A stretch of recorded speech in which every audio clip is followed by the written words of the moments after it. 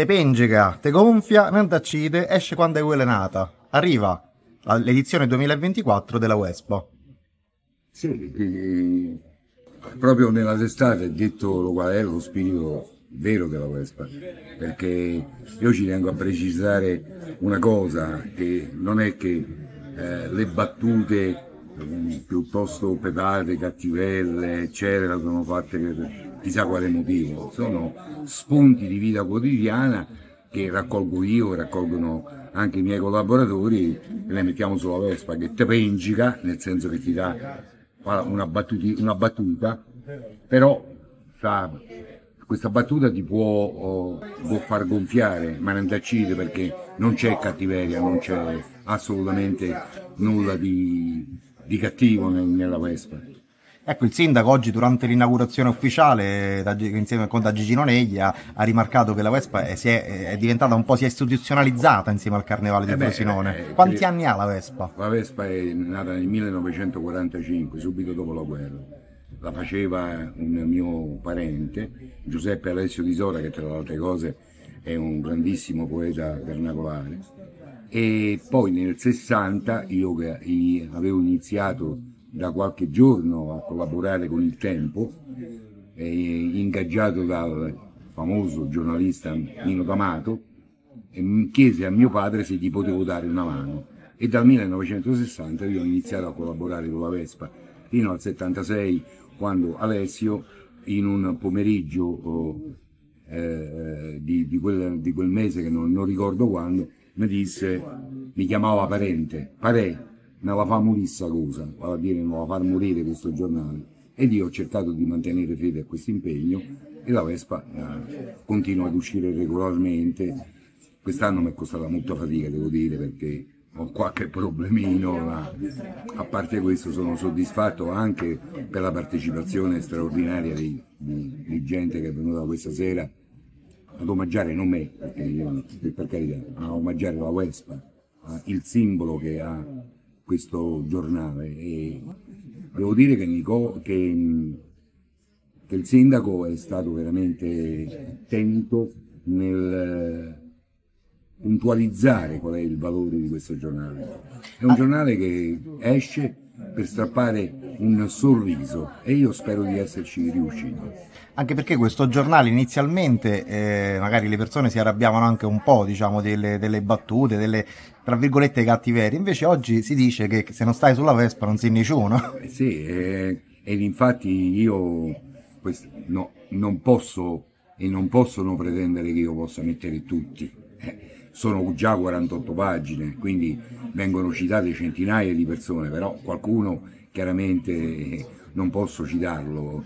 Poi c'è anche un ricambio generazionale, c'è un ricambio di foto, cioè, eh, chi è che non è stato citato quest'anno lo sarà sicuramente nella prossima Vespa, a Dio piacente, insomma, del 2025, però c'è chi si arrabbia, chi fa finta di arrabbiarsi, chi fa finta di compiacersi e c'è chi ci rimane male perché non, magari non è stato né citato né fotografato.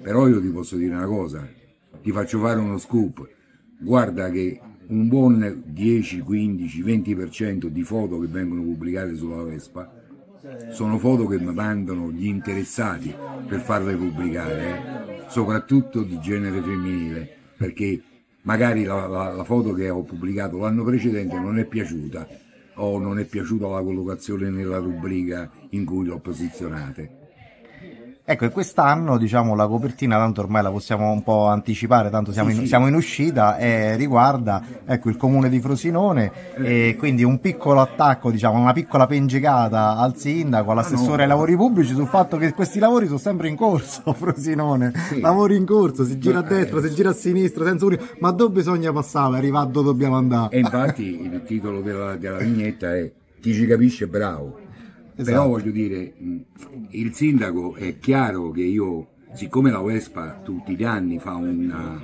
una lettera a Ruperta, una lettera aperta al sindaco di Frosinone, noi cerchiamo di dare dei consigli al sindaco.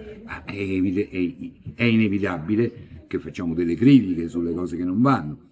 Così come credo che sia giusto e doveroso riconoscere quello che stanno facendo, eh, perché ci sono anche tante cose che Riccardo Mastrangeli e la sua giunta sta facendo, perché sia chiaro un altro fatto, la Vespa con la politica non c'entra niente, la Vespa non indossa nessuna maglietta né di sinistra né di destra, la Vespa semplicemente è un organo di informazione, ci informiamo, vediamo e raccontiamo.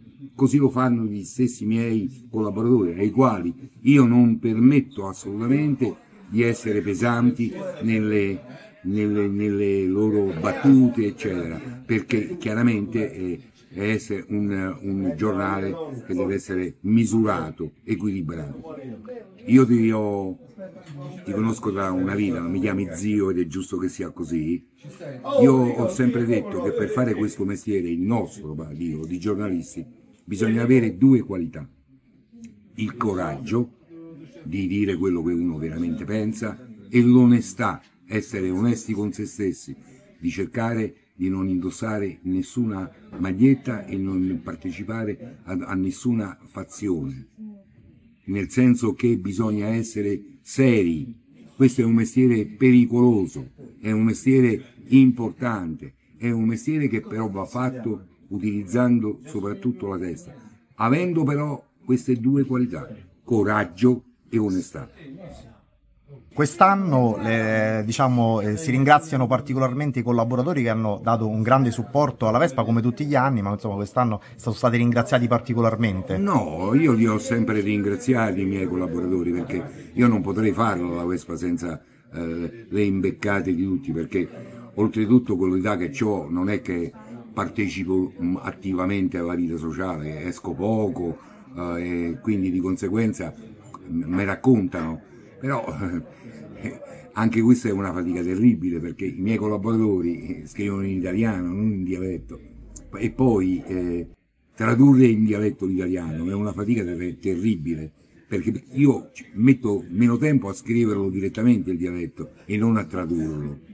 E, però è chiaro che, che il collaboratore X che eh, frequenta un certo ambiente può essere più aggiornato di me su certe persone.